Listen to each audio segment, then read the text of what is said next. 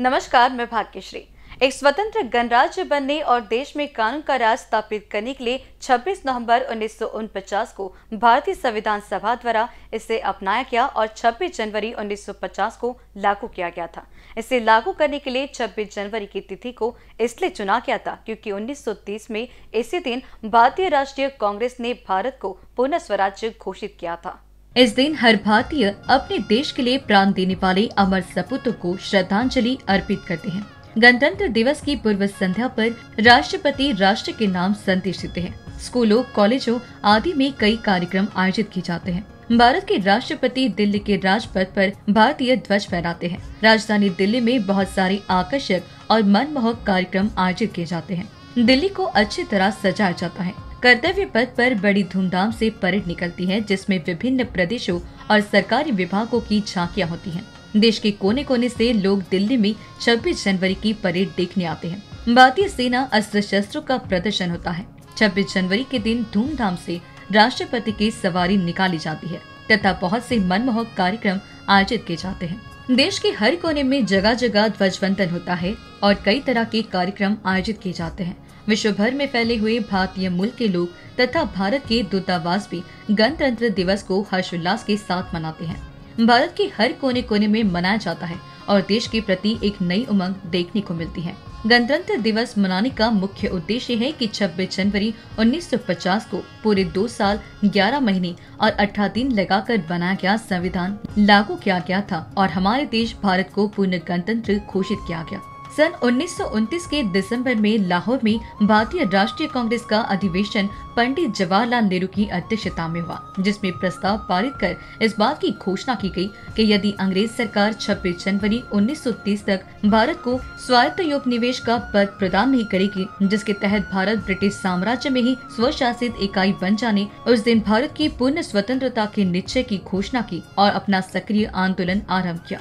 उस दिन से उन्नीस में स्वतंत्रता प्राप्त होने तक 26 जनवरी स्वतंत्रता दिवस के रूप में मनाया जा रहा है। इसके पश्चात स्वतंत्रता प्राप्ति के वास्तविक दिन 15 अगस्त को भारत के स्वतंत्रता दिवस के रूप में स्वीकार किया गया।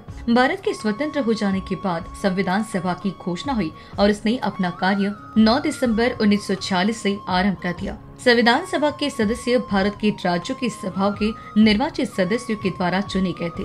डॉक्टर भीमराव आम्बेडकर जवाहरलाल नेहरू, डॉक्टर राजेंद्र प्रसाद, सरदार वल्लभ भाई पटेल, मौलाना अब्दुल कलाम आज़ाद आदि इस सभा के प्रमुख सदस्य थे। संविधान निर्माण में कुल 22 समितियाँ थी, जिसमें प्रारूप समिति यानी ड्राफ्टिंग कमेटी सबसे प्रमुख एवं महत्वपूर्ण समिति थी और इस समिति का कार्य संपूर्ण संविधान लिखना या निर्माण करना था। प्रारूप समिति के अध्यक्ष विधिवेत्ता डॉक्टर भीमराव आम्बेडकर थे।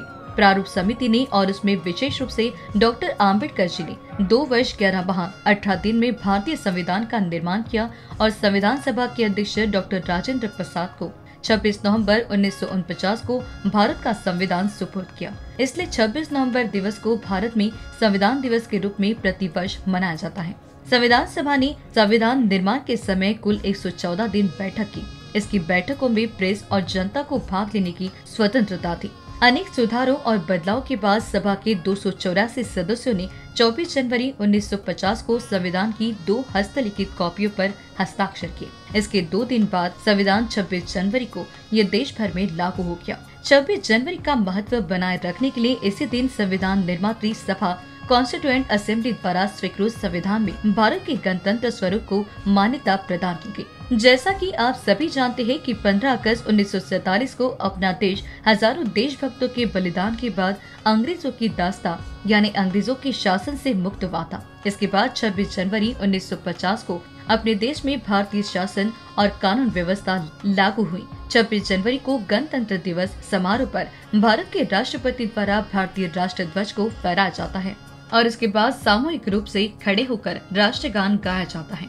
फिर राष्ट्रीय ध्वज तिरंगा को सलामी दी जाती है। गणतंत्र दिवस को पूरे देश में विशेष रूप से भारत की राजधानी दिल्ली में बहुत उत्साह के साथ मनाया जाता है। इस अवसर के महत्व को चिन्हित करने के लिए हर साल राजपथ पर एक भव्य परेड इंडिया गेट से राष्ट्रपति भवन तक राजधानी नई दिल्ली में आयोजित की जाती है। इस भव्य परेड में भारतीय सेना के विभिन्न रेजिमेंट, वायुसेना, नौसेना आदि सभी भाग लेते हैं। इस समारोह में भाग लेने के लिए देश के सभी हिस्सों से राष्ट्रीय कैडेट कोर व विभिन्न विद्यालयों से बच्चे आते हैं। समारोह में भाग लेना एक सम्मान की बात होती है।